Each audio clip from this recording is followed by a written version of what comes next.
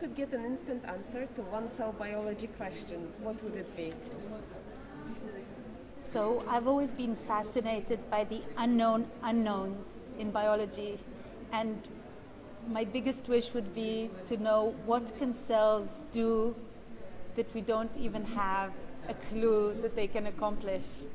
And I think every couple of years we find out these unknown unknowns in biology and it's always very exciting. Could you share with us a mistake you've made in the lab that taught you a valuable lesson?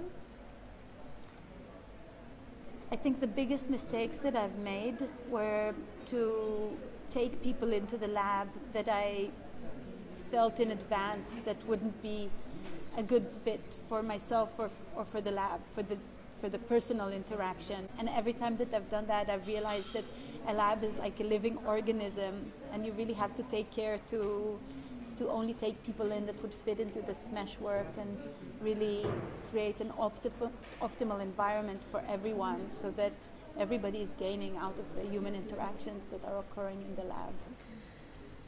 What is the best piece of science related advice that you have ever received? The first is from my PhD advisor, Nissim Benvenisti, who always told me that you should always work on the thing that most excites you, even if at the moment it doesn't excite other people.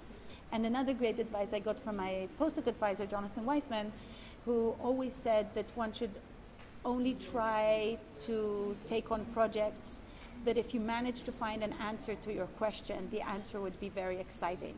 The combination of these two has really guided the way that I do science in my lab. If you could fix one problem in academia, what would it be?